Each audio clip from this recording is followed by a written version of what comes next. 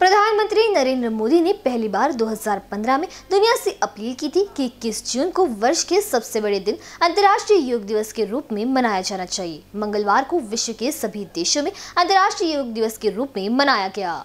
कार्यक्रम की शुरुआत टापू को रोशन कर की गई। सरकारी प्रोटोकॉल के अनुसार योगाभ्यास किया गया। पतंजलि योग समिति के अनिल नित गुरु जी के मार्गदर्शन में मॉर्निंग फ्रेंड्स ग्रुप पिछले चार वर्षों से निरंतर योगा का पाठ पढ़ रहा है। योग दिवस पर नाइट गुरु जी को शॉल और नारियल देकर सम्मानित किया गया। अंतर्राष्ट्रीय योग दिवस के अवसर पर जिला पंचायत चंद्रपुर के पूर्व अध्यक्ष देवरा भोंगली उपस्थित थे। मॉर्निंग फ्रेंड्स ग्रुप द्वारा पूर्व जिला पंचायत अध्यक्ष देवराव भोंगले का शॉल व नारियल से अभिवादन किया गया। इस दौरान पूर्व जिला परिषद अध्यक्ष नीतू चौधरी, ग्राम पंचायत गुग्गुस के सभी पूर्व सदस्य, गुरुदेव सेवा मंडल के अध्यक्ष प्रेमलाल पारदी, गुरुद्वार सेवा समिति के अध्यक्ष, गाँव के कई नामी चिकित्सक, गुग्गुस के कई गणमान्य नागरिक उपस्थित थे। अरविंद मेश्राम, गजानन आमटे, अनिल नीता, रंगया पुरेली, अशोक पाड़ा समेत अन्य लोग इस दौरान उपस्थित थे। बीसीएन न्यूज़ के लिए गुग्गुस से सदन बाबू रिंकुंटा की रिपोर्ट।